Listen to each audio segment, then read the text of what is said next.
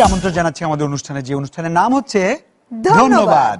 আঞ্চন আঞ্চন করে মন তোর লাগিয়া রে প্রিয়া তোর লাগিয়া। কত ভালোবাসি তোরে পারি না বোঝাতে বন্ধু আজ আমায় স্বপ্ন দেখাবি আয়। এক নতুন গল্প শোনাবি আয়।